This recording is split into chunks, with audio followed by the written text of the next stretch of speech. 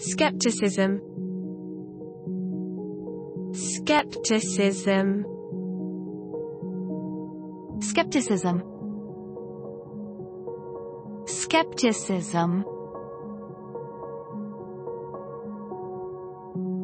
Examples of skepticism. It's okay, Mrs. Kent, I understand your husband's skepticism. I detect a note of skepticism, Dr. Powell. Yeah, absolutely. I understand your skepticism but give it a read. Hmm, I admit to some skepticism myself. You might want to dial back on that spontaneous combustion skepticism.